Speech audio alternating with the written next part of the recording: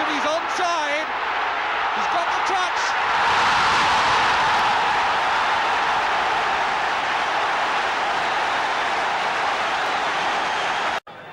Two men on the line, O'Hare and Durban.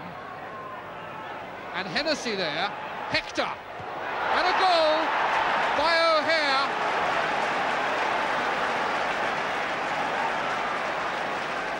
Really only needed a touch. Good interception by Ross. How well he's playing.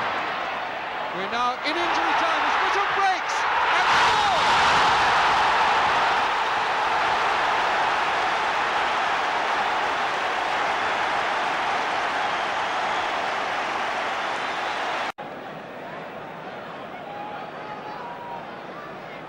O'Hare in the middle of the goal mouth there, wearing nine. Kevin Keegan back beside Ross there. Paul in the front of the picture.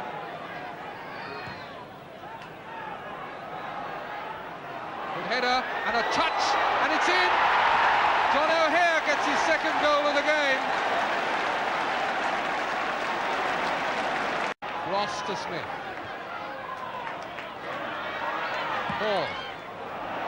Keegan in pursuit, dropped beautifully for him, and he's wrong-footed McFarland and brought Heighway into the move. Looked as though he was obstructed, he's got it over, and that's Whitham's hat-trick!